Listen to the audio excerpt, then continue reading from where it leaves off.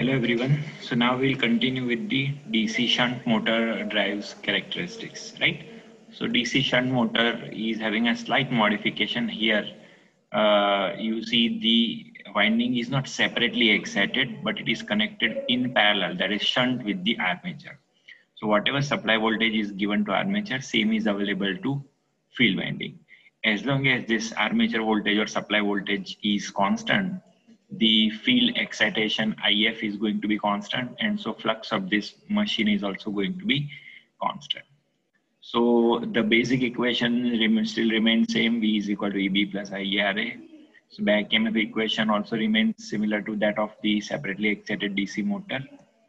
And uh, in short, we have the back EMF equation and speed relation in the same manner as that of the separately excited DC motor we can see that uh, speed is given by uh, these two terms.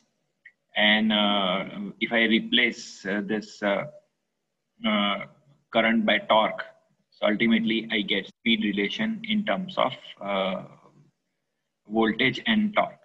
Right. So if I assume voltage is constant, flux is constant. So speed versus torque relation is described by equation four.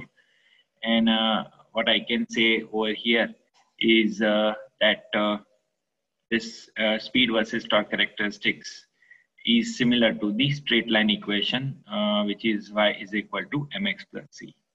So in the same manner, I can plot uh, the speed versus torque characteristics of DC shunt motor drive. And uh, this characteristics, as you can see, is a characteristics of straight line. And uh, it is having very small uh, slope m the intercept is nothing but the uh, v by k, that is no load speed. And it is again a straight line parallel to x-axis. It is good for constant speed applications. Uh, as the load varies, the speed is also not that much varying. So that is also a good part about this particular uh, thing.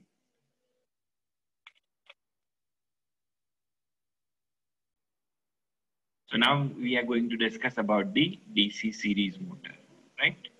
So DC series motor, as the name suggests, is nothing but uh, the winding, field winding is connected in series with the armature circuit. So whatever is the armature current, same is flowing through the field winding. So armature current is same as field current. So in this case, the flux is not constant.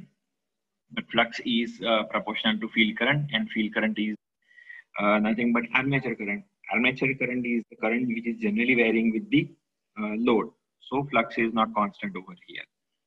Right. So with this background, we can see that uh, DC series motor, the key factor over here is field winding connected in series and flux is, uh, is not constant.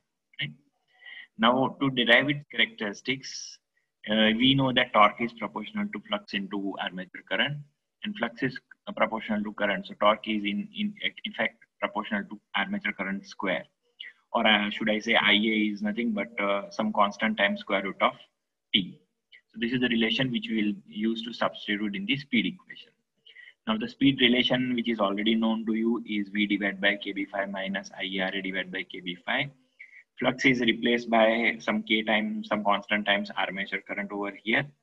So the second term armature current armature current gets cancelled out and it, it is only left out with the RA divided by KB phi kb into k1 and first term i can replace ia by some constant times square root of t right? I can combine all this kb k1 uh, to a new constant k and i can say it is v divided by k root of t.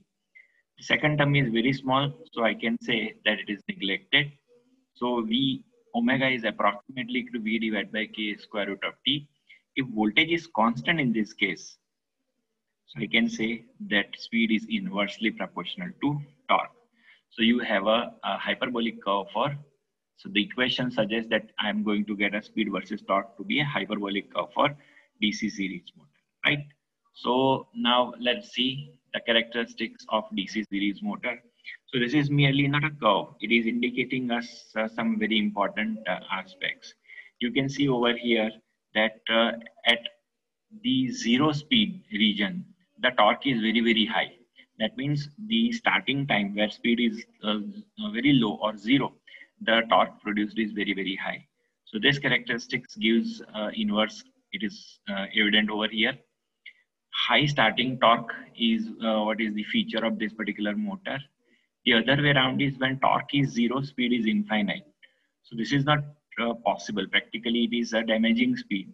So you are supposed to take care that DC series motor is never started without any load. That load should not be zero. Right? So uh, this is also a safety precaution we are supposed to remember. DC series uh, motor never started without any load. Right? And so far as uh, the applications is concerned, it is good for applications where high starting torque is required, like uh, traction applications, right? Where static friction is predominant, right? So this is all about the uh, basic speed versus torque characteristics of uh, DC shunt and series uh, motors. We'll continue about the modified characteristics in our subsequent section.